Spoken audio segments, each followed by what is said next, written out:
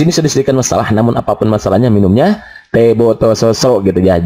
Uh, jadi ada kuah nggak ada yang ada soal. Jadi pertama selalu hadapi masalah dengan senyuman. Semuanya pus gitu kan. Solution. Berapa? Iya betul. Biar ada inspirasi. Ini.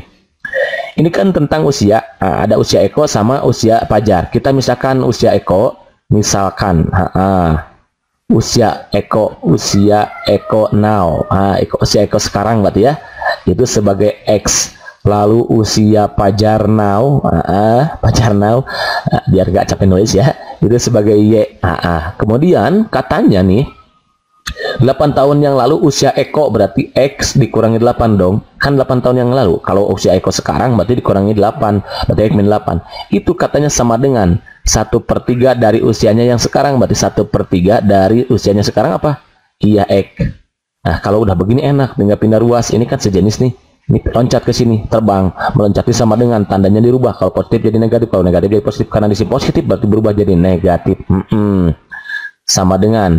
Nah, negatif 8 pindah ke sini terbang juga meloncat sama dengan negatif jadi positif lah gitu.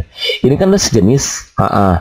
Ini kan sudah sejenis tinggal dikurangi aja cara cepatnya. Ingat kemarin X kali 3 kalikan X kali 3 3 X kurangi 1 X Iya betul, 2x. Don't forget per 3. AA sama dengan 8. Gitu cara cepatnya kawan-kawan. Ulangi, ulangi. X kali 3, 3x. Ini kurangi kan kalau kurang, kurang. Kalau tambah, tambah.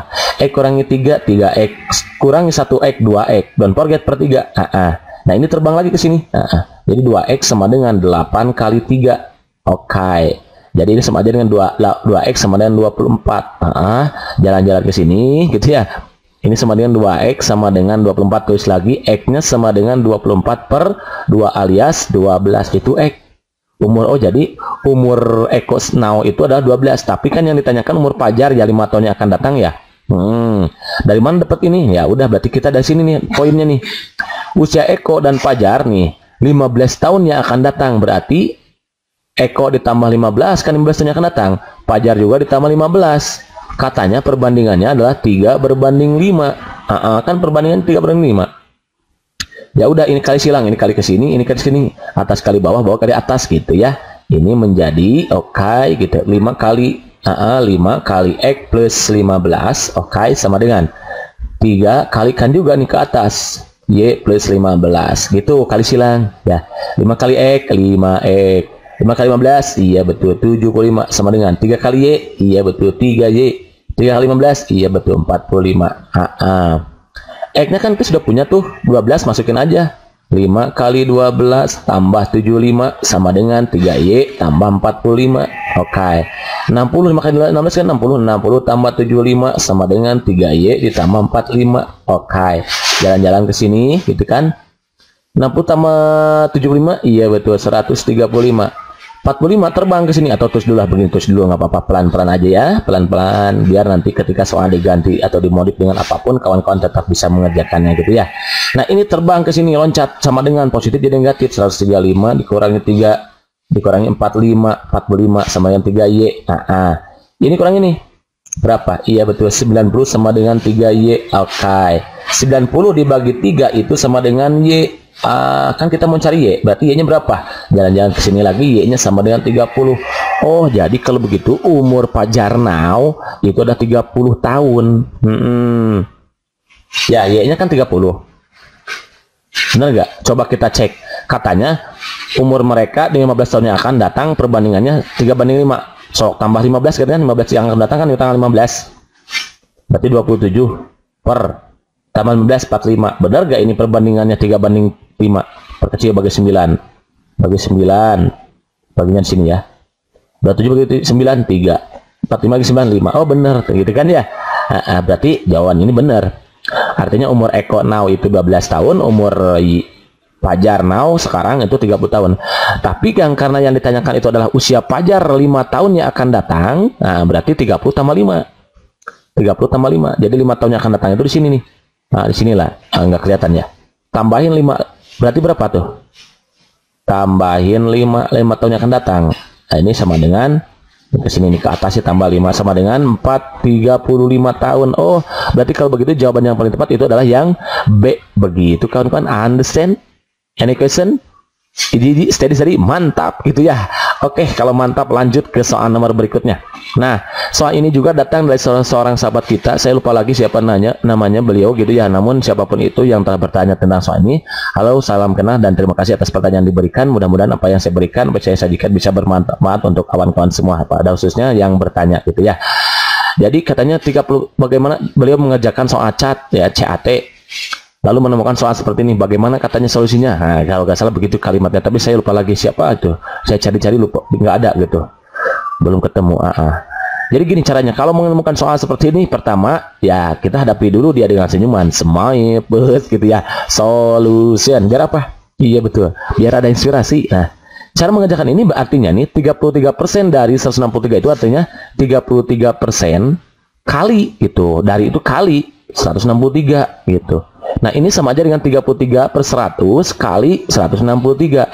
Nah, kalau kita menemukan soal seperti ini, jangan langsung dibagi 3 dulu. Eh, sorry, jangan langsung dibagi 100 dulu. Susah nanti. Kalau dibagi nanti, jadi ada koma-koma. Kalikan dulu ke sini nih. Jadi 163 kalikan 33.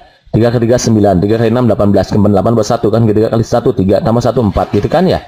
Nah, kawan-kawan tinggal. Nah, ini kan 3 lagi dikalikan yang sama pasti sama, nggak usah mikir lagi pasti ini 489 tapi nyimpannya 984 gitu mundur gitu 9 17 tambahin nih kan 13 5A jadi ini sama aja dengan 5379 per 100 nah baru kalau sudah seperti ini kita bagi 100 gitu. Enak kalau mau bagi 100 nya gimana caranya? Gini ini kan nolnya 2 ah, tulis lagi 57 5379 nolnya kan 2 coret dua-duanya coret 02 mundur dia dua langkah. Satu dua. Ah berarti komanya di sini. Ini artinya sama aja dengan 53,79 udah deh selesai jadi 33% dari 163 adalah 53,79 begitu kawan-kawan. Understand? Ini question? Inap inap. Ini di sini. Mantap.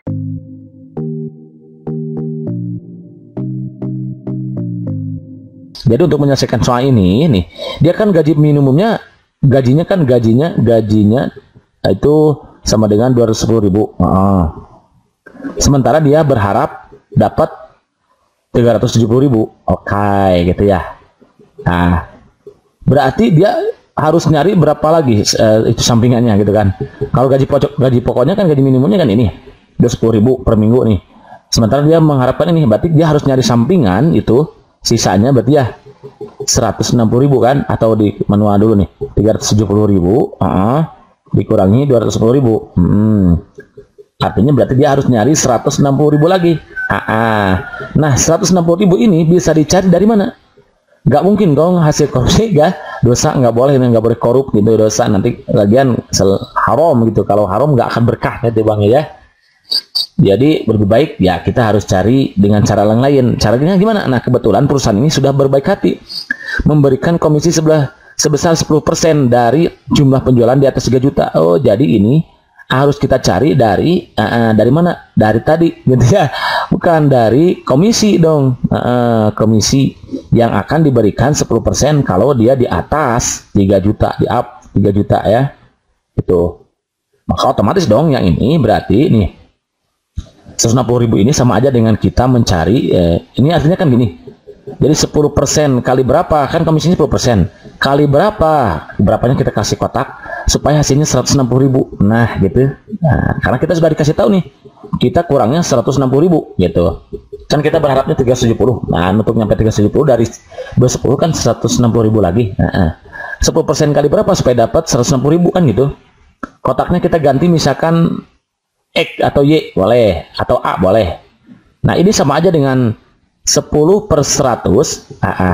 kali A berarti 10 per 100 A, A sama dengan 160 ribu gitu. Nih kita pelan-pelan aja ya. Karena nanti kalau, kalau misalkan soal dimodif dengan jenis apa pun kawan-kawan tetap bisa mengerjakannya gitu nah ini terbang ke sini gitu jadi 10A sama dengan 160 ribu uh -uh, kali 100 kan terbang ke sini gitu. Karena yang kita cari itu adalah A, berarti 10-nya juga coret nih, coret. Pindahin ke bawah, tek. Ah, pindah ke bawah gitu. Jadi ini sama aja coret, coret nolnya. Jadi A sama dengan ah, 160 ribu ke 10. Iya betul, 1 juta 600 ribu. Oh jadi A-nya 1 juta 600 ribu. Jadi kita harus bisa mencari atau menjual, ah, bukan mencari ya, menjual barang satu juta enam ratus ribu. Tapi ini akan diberikan kalau di atas 3 juta kan tadi, ah, otomatis dong. Jadi yang ditanyakannya kan di sini berapa minimum penjualan yang harus dicapai selama seminggu. Jadi penjualan ah, minimum, penjualan minimum hmm, yang harus dicapai, dicapai. Semi selama seminggu ah uh, selama seminggu oke. Okay. terus aja deh nggak apa-apa ya. Adalah nih sama aja dengan kita harus menjual satu juta enam ribu. Tapi ini akan diberikan kalau di atas 3 juta. Otomatis dong ini harus kita tambahin dengan 3 juta gitu. Bukan hanya ini saja karena kalau satu juta enam ratus gak mungkin dikasih 10 persen. 10 persen itu akan dikasih kalau di atas 3 juta. Jadi harus tambahin 3 juta. Oh berarti ini total 4 juta 600 ribu. Oh berarti kalau begitu nih Nih, biaya minimum penjualan yang harus kita capai dalam seminggu itu adalah 4 juta 600 ribu. Baru deh kita akan memperoleh seminggunya itu gaji 370 ribu ditambah di, dari gaji mingguan minimum, minimum mingguan 20 ribu ditambah komisi bonus. Ya bonusnya 150 ribu. Begitu kawan-kawan ya. Understand Navigation, minap minap, ini steady steady, mantap ya. Kalau mantap, oke okay, kita mantapkan lagi soal apa pengetahuan kita mengenai soalnya ada kaitannya dengan contoh kasus barusan. Oke nih, di sini sudah disajikan sebuah masalah lagi nih. Namun apa pun masalahnya minumnya Iya betul teh botol seroso. Jadi jadi selalu hadapi masalah dengan senyuman. This my post solution. Biar apa? Iya betul. Biar ada inspirasi. Nih kalau ini seorang sales makanan ringan. Nah dibaca sekaligus ya. Seorang sales makanan ringan maksudnya memperoleh gaji minimum Rp350.000 per minggu. Nah, sekarang gajinya Rp350.000 per minggu. Jika jumlah penjualan di atas 3 juta, uh, kembali lagi 3 juta sama kayak barusan ya, maka dia memperoleh komisi 10% dalam hmm, dalam minggu ini dia memperoleh gaji sebesar Rp600.000. Uh -uh. Berapakah jumlah total penjualan minggu ini? Oke, okay, berarti sekarang yang ditanyakan total penjualan minggu ini. Nah, sama aja kayak barusan sebetulnya ya.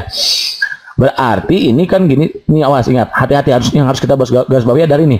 10% ini, komisi ini 10% ini atau bonus 10% ini akan diberikan kalau penjualan di atas 3 juta. Aa, jadi kalau di bawah 3 juta itu nggak akan dikasih. Makanya nanti ini harus ditambahin dengan 3 juta.